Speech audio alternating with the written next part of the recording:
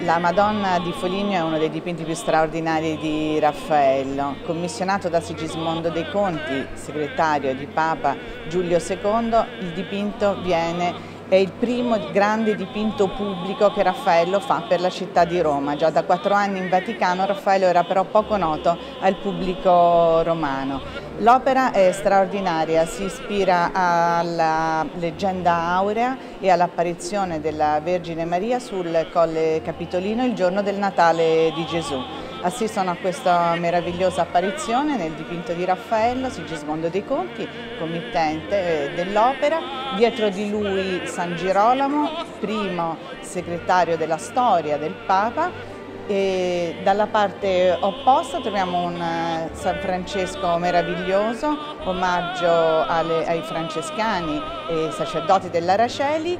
dietro San Francesco un San Giovanni Battista bellissimo, con eh, una dinamica anatomica, una fisicità veramente molto forte eh, che indica con il dito, così come abbiamo già visto nel dipinto di Leonardo da Vinci, l'arrivo del profeta, del Gesù che è sopra di lui, di fronte a lui, se parliamo dal punto di vista storico. L'opera ha un meraviglioso ehm, paesaggio, gli storici dell'arte si sono a lungo interrogati su che cosa rappresentasse esattamente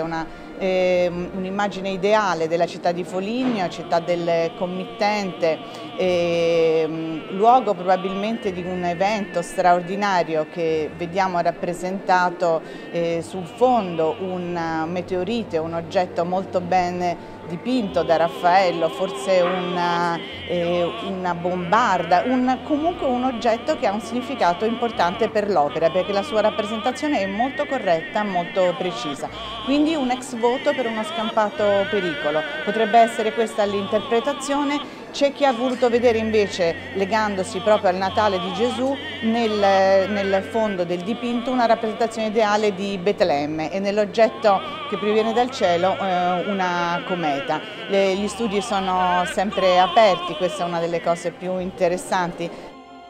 chi verrà a trovarci troverà eh, un'opera esposta in maniera eh, ideale. La scelta dell'allestimento quest'anno pone il quadro molto in basso e quindi abbandona eh, anche dal punto di vista eh, diciamo filologico l'idea della, della, pala d'altare eh, che ci lega all'Araceli. Abbiamo voluto che il pubblico che viene a trovare il dipinto qui a Milano si trovi immerso nella scena che Raffaello ha, ha dipinto, cioè si trovi parte della scena che Raffaello ha ehm, ideato. Dietro il dipinto potrete vedere, i visitatori potranno vedere una parete tecnica molto spettacolare eh, con un, un, livello scientifico molto alto. Noi possiamo proiettare eh, delle immagini di grandissimo livello, di grandissima risoluzione e poter dare delle notizie relative al restauro e alla tecnica esecutiva veramente eh, un po' eccezionali. Il, le, questa possibilità di poter vedere così da vicino un'opera eh, anche attraverso questa queste proiezioni rende secondo me questa eh, mostra un po' speciale.